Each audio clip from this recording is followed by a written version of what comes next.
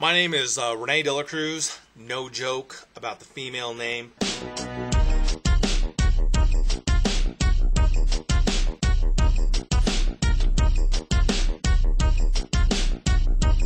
A weight loss channel for guys. It's about stinking time. You know, I have nothing against women. I married one.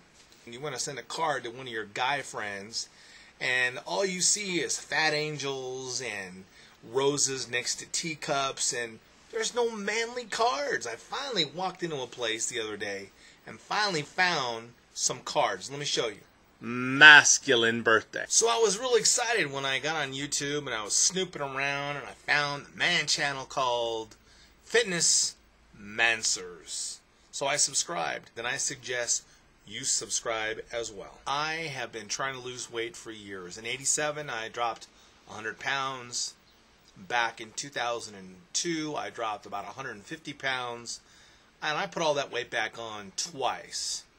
And I'm getting older, getting slower, and I'm up to I was up to 385 pounds. And I said, you know what? I I've lost my motivation. I've lost my inspiration.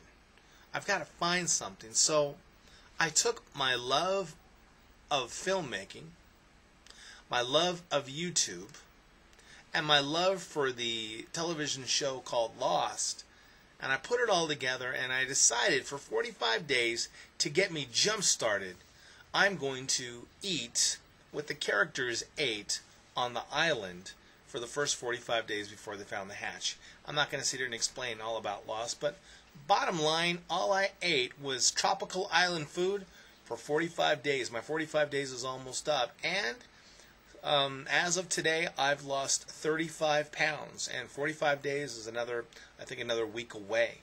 You know, back in 2002 when I lost 150 pounds, I owned the gym, literally.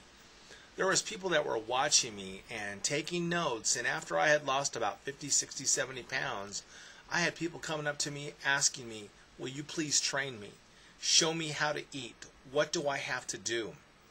Back then i did a little bit of body for life i did my own program but i lost 150 pounds put a lot of muscle on i was uh, invited to um, speak at eas um, seminars and we did conferences eas sent us thousands of dollars worth of product, and we gave all that stuff away.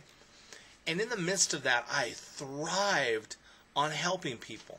Just being able to help somebody lose weight, to feel better about themselves, that's one of the greatest things in the world is to be able to give of yourself to help people out. And that's what I need.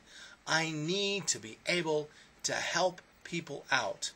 Because it's almost like if I help them out, they help me out and that will help me to lose the rest of the weight and to sustain my weight loss. You know, there was a video that you guys did a little while back, and it was called Plan It Out. And I totally agree with that. If you do not plan what you're going to do, you are doomed to fail.